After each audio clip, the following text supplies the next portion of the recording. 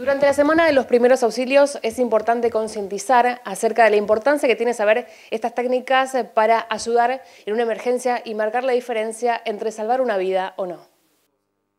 Punto principal es activar los servicios de emergencia. ¿sí? Lo otro es sí, después si le hacemos, podemos hacer algo mal, y puede ser, pero muchas veces ponemos en la balanza el costo-beneficio. ¿sí? Perfecto. ¿Puede ocurrir algo? Y sí, pero el beneficio cuál es? El bienestar de la persona. Así que por eso lo ponemos rápidamente. Y seguramente que uno de los grandes miedos que hay eh, en la calle, justamente ante la atención de alguien, es esto, ¿no? El de poder eh, hacerle algo mal. Bien, lo peor es no hacer nada. Ante cualquier situación podemos ayudar, incluso solamente llamando a una ambulancia, ya estamos dando una mano.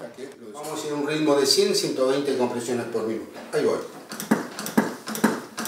Conocer primeros auxilios, porque justamente vamos a hacer el nexo entre la víctima y la llegada de ese servicio de emergencia.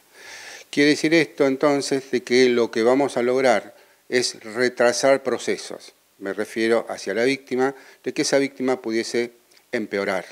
Como todos los años, en la Semana de los Primeros Auxilios, la organización busca que más personas incorporen los conocimientos necesarios para animarse a ayudar a otros. Cualquier persona lo puede, lo puede digamos, eh, tomar un curso y en la cual ahí se vamos a ver o se ven los temas básicos de lo que son los primeros auxilios. Después tenemos otros eh, tópicos, por ejemplo, el de saber qué hacer frente a una quemadura, qué es lo que se puede saber o lo que se debe hacer frente a una hemorragia, a alguien que tiene una convulsión, o alguien que tenga algún desmayo, o alguien que pueda tener alguna obstrucción y que pueda estar atragantado.